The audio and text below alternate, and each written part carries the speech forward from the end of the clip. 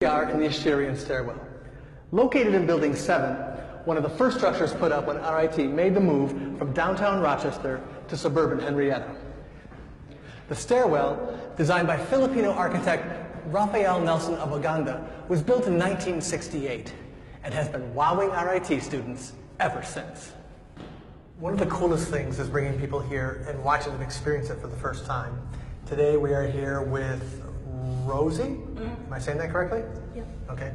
And uh, you are a uh, grad student in what program? Yeah, exactly. Uh, program? Yeah. Print media. Okay, so uh, have you been here to before to the stairwell? this stairwell? Exactly. Yeah. Yeah. Okay. have you heard about it? yeah. No, No. never. Okay. Never. Okay. Never. But what I want you to do is just walk up the stairs and wait for me on the next floor. Just go upstairs. go on up. There you go. That's it? That's it.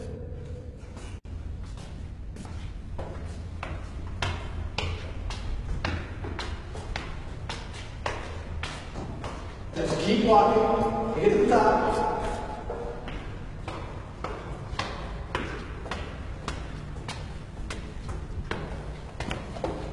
Rosie, what are you doing here?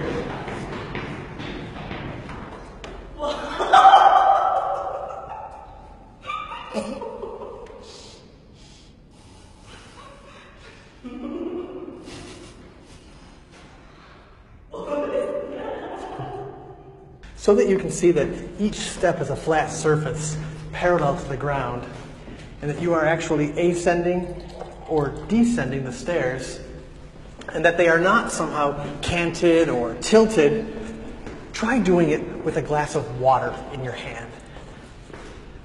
Hi, Rosie.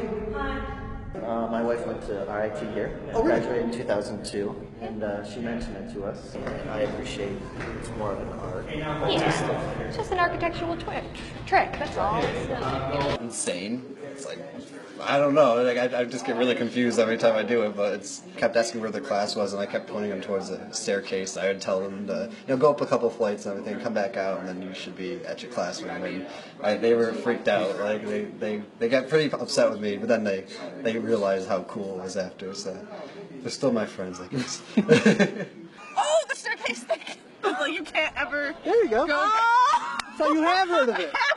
You have heard of it. I've been there. I've been there. Yeah. I'll race you to the top. That's what I would tell them, and we'll see. See the beautiful it was fun. It was, yeah. Once they got old enough and the kids could enjoy it, they, Yeah. they've had a good time. so Right. Hey, sir, what's your name? Hey, Wayne. You here with your family? Yeah. Yeah? Where are you from? Liking it? Okay, no. I like that. Okay. you don't have a twin brother, do you? No. Okay. Just me. Okay. Well, I will see you downstairs then, all right?